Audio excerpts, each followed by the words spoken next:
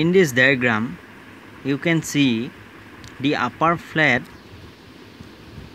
face represent the Arctic Ocean while the remaining three faces represent the Pacific Ocean, the Atlantic Ocean and the Indian Ocean. Similarly, three vertical meridional edges represent North and South America, Europe and Africa and Asia, while the lower point is represented by Antarctica.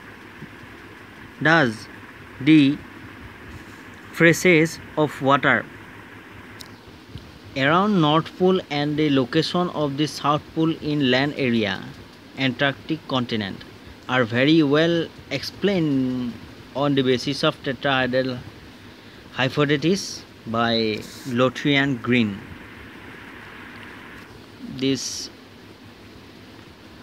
Lowthian Green claimed to see a tetrahedral arrangement in the distribution of the continents and oceans in such a way that the earth was linked to a tetrahedron having four flat faces and standing on one point.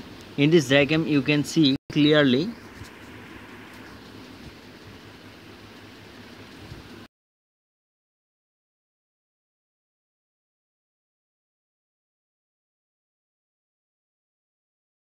In this hypothesis, there are some characteristics of the distributional pattern of land and water over the globe.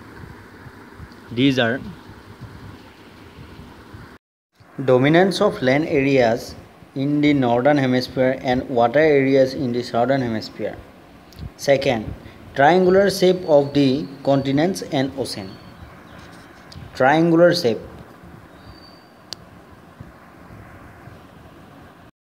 Third, situation of continuous ring of land around North Polar Sea and location of South Pole in land areas surrounded by water from all sides. Fourth, antipolar arrangement of the continents and oceans. Fifth, largest extent of the Pacific Ocean covering one-third area of the globe.